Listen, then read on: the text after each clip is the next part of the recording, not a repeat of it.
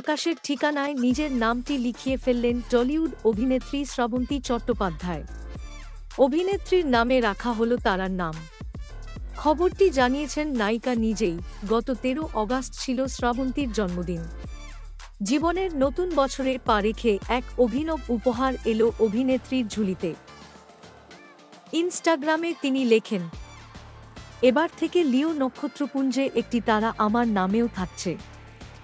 আন্তর্জাতিক স্টার ডিরেক্টরিতে শ্রাবন্তী নামে এটির নাম নথিভুক্ত করা হলো, তবে শুধু কথার কথা নয়, নিজের নামে তারার নামকরণের প্রমাণ হিসাবে মেলা সার্টিফিকেটও অনুরাগীদের সঙ্গে শেয়ার করেছেন শ্রাবন্তী, তবে শ্রাবন্তী নিজেই নিজেকে এই উপহার দিলেন নাকি অন্য কেউ তার নামে তারার নাম রাখলেন? তা এখনও পর্যন্ত জানা যায়নি। এ নিয়ে কোনো মন্তব্য করেননি এই অভিনেত্রী।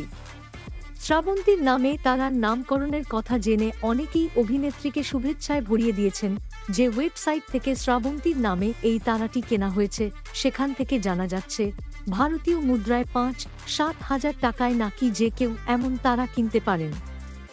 বর্তমানে শুভ্রজিৎ মৈত্রর দেবী চৌধুরানী সিনেমার কাজ নিয়ে ব্যস্ত রয়েছেন শ্রাবন্তী।